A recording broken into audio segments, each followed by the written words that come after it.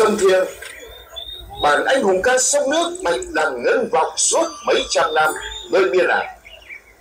mỗi con sóng bạch đằng dù hoan ca thắng lợi, vẫn không quên là phên dạo của giang sơn giặc phương bắc vẫn nuôi hận trả thù và máu xâm lăng đại việt đang ở thế hút trời học đông nga đã sẵn sàng dắt thế trận bạch đằng lần thứ ba đón rằng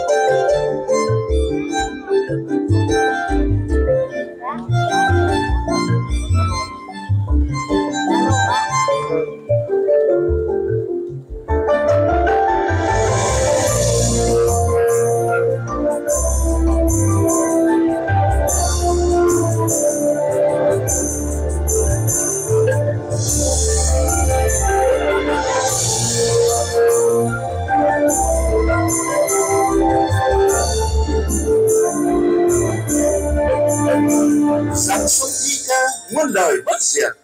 Trong trẻo dịu êm, như một tiếng ru nôi. Phía trước là biển, phía cao là trời, và trong sông sóng bạch đằng vỗ nhịp. Sông hiền hòa, như muôn năm đất việt, nước cuộn trào khi giặc cướp tràn sang.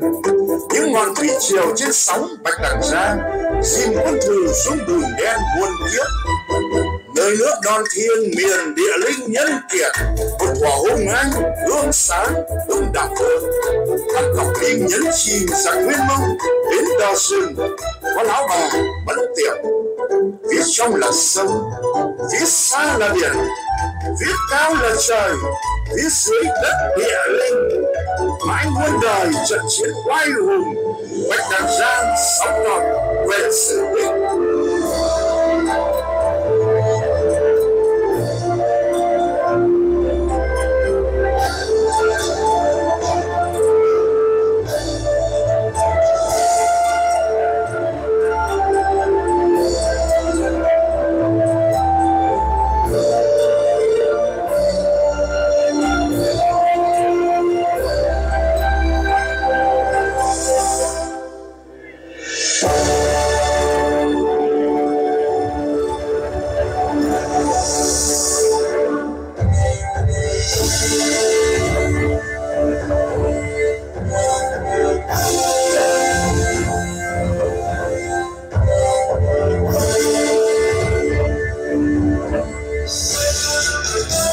Vào năm Mậu Tý 1288, giặc Nguyên Mông lại vô vò kéo sang với 600 chiến thuyền và 4 vạn quân binh thường ăn sầm nuốt tươi quân dân Đại Việt. Võ ngựa Mông Cổ đi đến đâu, còn nơi đó không bọc nổi.